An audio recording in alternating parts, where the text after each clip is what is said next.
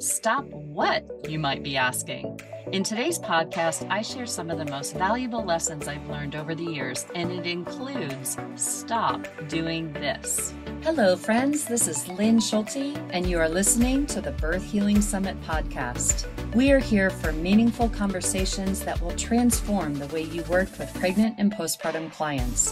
Whether it is a new perspective, tool, or technique, you'll be able to implement it into your practice today.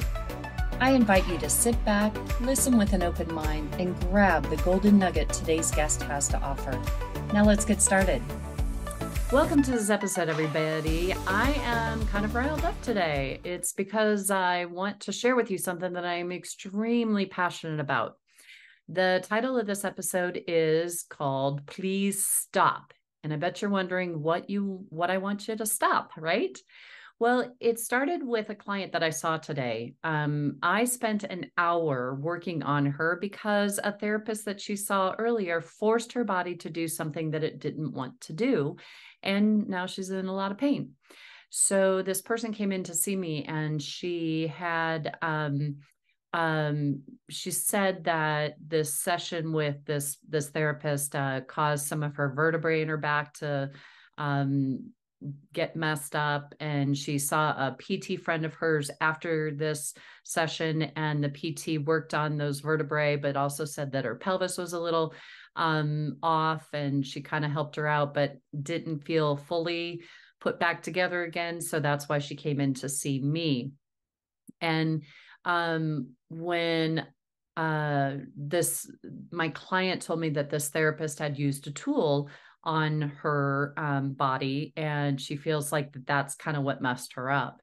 And um and so when i i in standing i did my my scan on her and i got drawn to the right lower rib cage area and then when she laid down, um, I was working on that lower rib cage area and could feel the diaphragm was kind of restricted. And then as I was assessing her thoracic spine, I could find the TL junction. There were two vertebrae there that just weren't happy and they weren't moving very well. And and then as I started working with those, I was like, oh, that's right where the diaphragm attaches in. And the whole diaphragm was just not happy. And and then I asked my client, I said, so did you have any difficulty breathing after that? That session? She goes, Oh gosh, yeah, it was painful for me to take a deep breath. And I said, Well, now I understand why, because your diaphragm really got affected. I think those the two vertebrae that the the therapist um, you know, did some some created an issue in your body was where the that diaphragm attaches in and so after releasing her diaphragm, then I went and did the diaphragm rebalancing with the pelvic diaphragm. And it's a technique that I teach in my advanced postpartum techniques online course. And as I was doing that, I felt that the, the pelvis wasn't um, in its proper place. So I stopped doing the, the rebalancing wasn't appropriate because the pelvis wasn't balanced. So I worked on that and got that feeling much better. And then I went back. Um, her pelvis needed the sacral scoop, which is another technique that I teach in the advanced postpartum techniques online course which is actually um, uh, we i just released it and through the month of july is having an early bird discount special on that course so please check that out um, but I did the sacral scoop, and then that really helped the pelvis get into a better position. Then I was able to then do the diaphragm rebalancing and just reconnecting the the respiratory diaphragm with the pelvic diaphragm, and um, then that felt really good. My my client got up and felt much better and more aligned, and felt like everything was. Um, you know was better for her so yay for her but as i was working her I, I had to say that i was just so disappointed in i'm going to just say body workers in general for the way we have been taught how to approach the body. And i understand that we need to learn techniques. We need to understand how the body moves and everything but really our approach how we've been taught to work with the body is you know, as a PT, I was taught to mobilize the joint in this way. We got to get the motion moving this way. And, um, you know, massage therapists and, and PTs as well, there's tight muscles. We got to get them to relax. And that's our job is to, you know, get rid of the pain or get rid of the, the tightness in the tissues. And really what we're doing is is in in general if the tissues aren't giving up and they're not relaxing easily, then we're fighting the body. And um you know this this my client's therapist that she saw was using a tool and if you're using a tool and you're not able to feel the response in the tissues through the tool, then maybe we shouldn't be using that tool. Um, because really, our job as body workers, no matter what your profession is, is to listen to the response in the tissue. And a lot of times, I know we all can think of a situation where the tissue just didn't want to let go. The muscle wouldn't release, the joint wouldn't move. Well, I know what I learned in PT school was make it.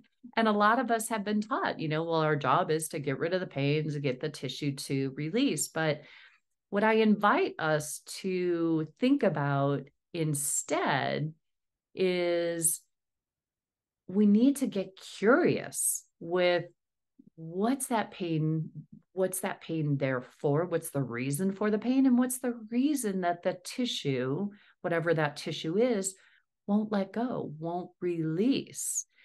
And the reason i'm so riled up today is because i really wish that everybody who's doing body work or body work on bodies would understand that we should never ever ever force a release.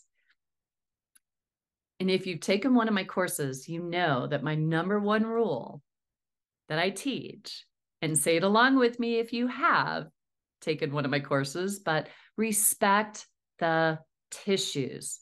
I usually have everyone say it all out loud together again. So if you're listening in, please say it with me respect the tissues.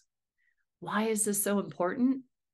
Well, when we force a release, it usually doesn't go well, as my client experienced in her session. So, how do we know that we forced a release? Well, usually the client will come back in and their pain will have gotten worse after your session.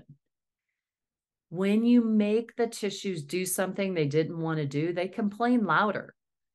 Um, and believe me, I get it. I used to do this early on in my practice when I didn't know any differently. And so I, I've had, you know, I've had experience with this happening. And I just want all of us to stop doing that. So, can we, instead of forcing the tissues to release, can we instead get curious with things? And I always, you know, we we are all treating on a very physical level. Um, we're treating the muscles, the tissues, the joints on a physical level. And if the pain or the tissues aren't releasing and things aren't changing, then I want to encourage you to do something different. If the pain got worse, then we know that we overdid it if the tissues don't want to release, instead of offering more force, why don't we try getting curious with it instead? Because pain is usually a signal. Usually, pain in the body might have a job to do. If a muscle is tight and it's not wanting to let go, there's usually a reason. What's the reason? this is where we as practitioners need to get to. We need to figure out the reason. The reason we never want the the to force the tissues to do anything is because sometimes it has a job to do. We need to figure out what its job is. Sometimes pain could be being held in the body and it doesn't want to let go because if they let go of the pain, then they may have to face something that they don't want to face. If the tissues are tight, it may be trying to create safety and security in the body. And this is super, super important for us to remember for those of us that do intravaginal work. When we're working in this pelvic space, there's a lot that could be going on a lot held in this area.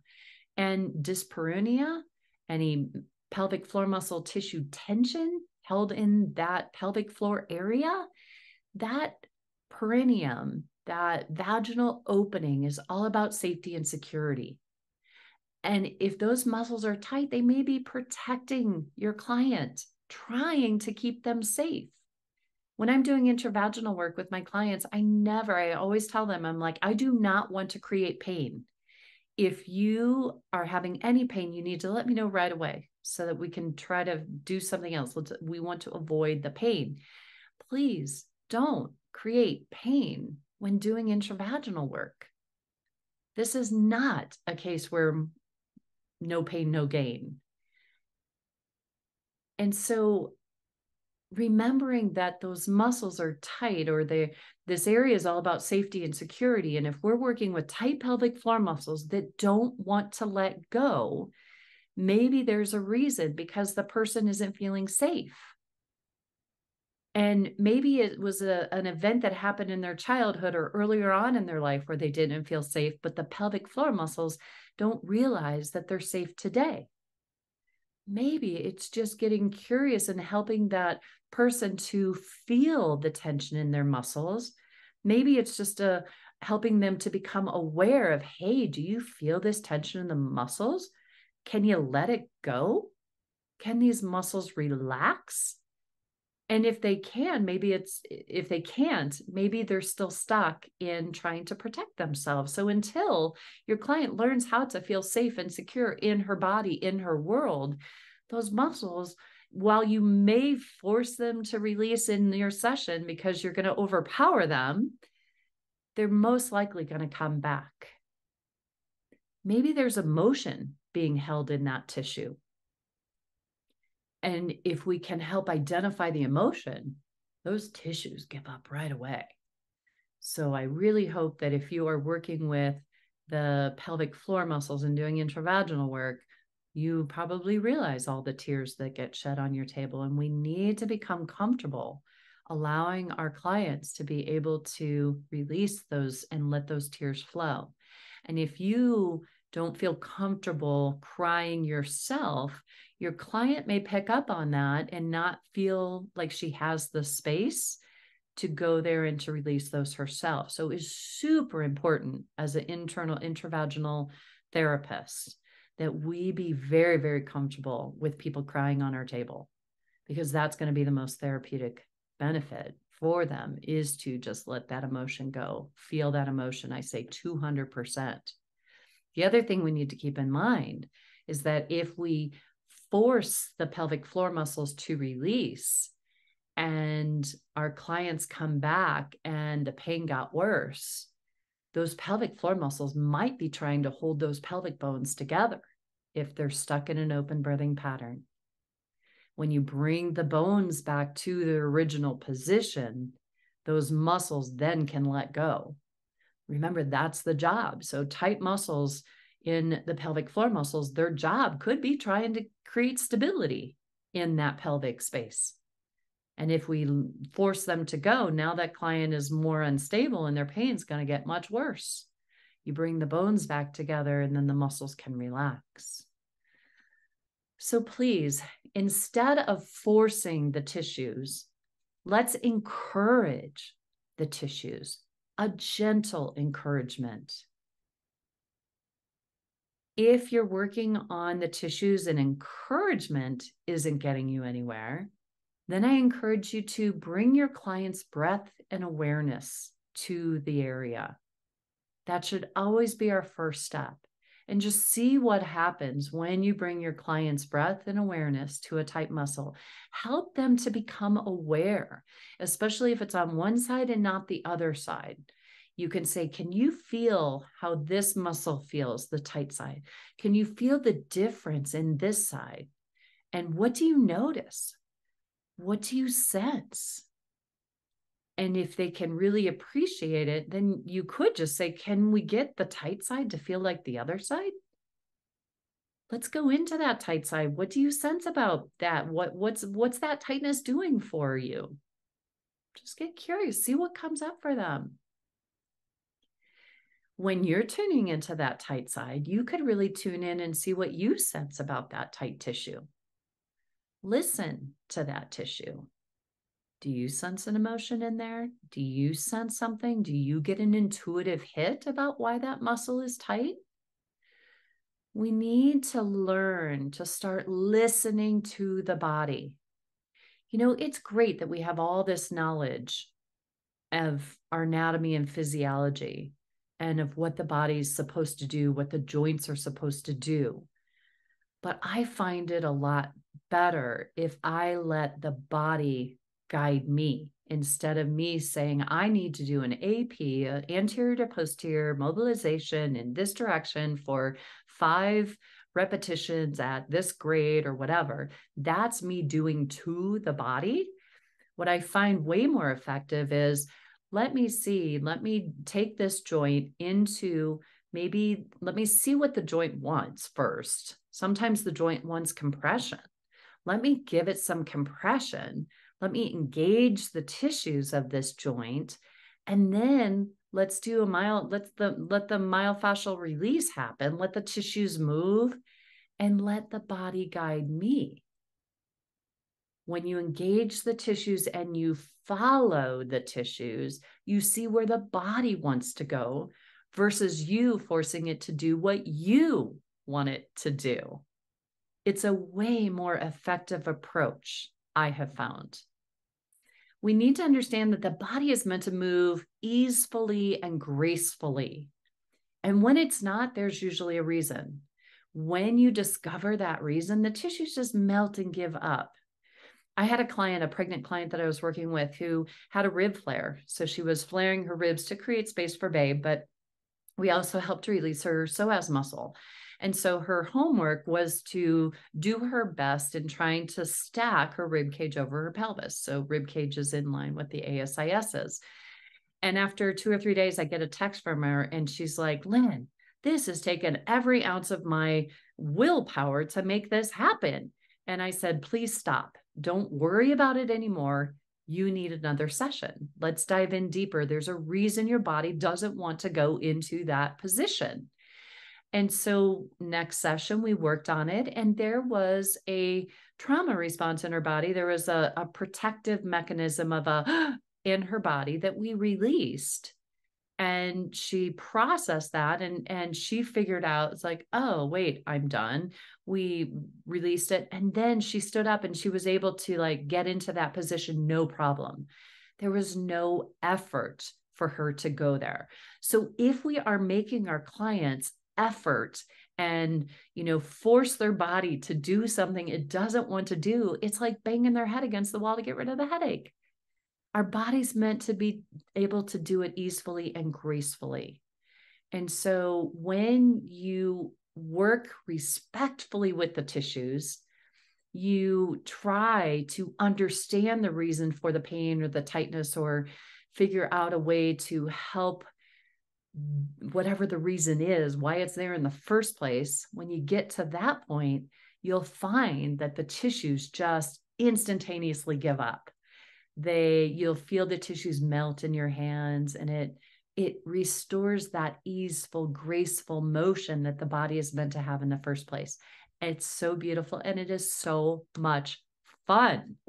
This is a really way more fun way to work with the body so i just invite you please always encourage the tissues never force the tissues and please remember my, my number one rule respect the tissues. Please say it out loud with me again right now. Respect the tissues. I think I'm going to get t-shirts made or maybe signs that you can put up in your your clinic so that you remember or maybe just carry my voice in your head as you're working on your clients so that as you're working on something the tissue's not wanting to release you're going to hear my voice Respect the tissues. Listen to your client's body. Let the body guide you. Encourage a release and respect the tissues. Thank you for listening today. And when we work in this way, we can help our clients have more beautiful and smoother births and faster recoveries. I'll see you all in the next episode. Today's podcast was brought to you by the Institute for Birth Healing. To discover more, visit instituteforbirthhealing.com. To claim $50 off of any online course, use coupon code PODCAST50 at checkout. Till next time, I'm Lynn Schulte, founder of the Institute for Birth Healing.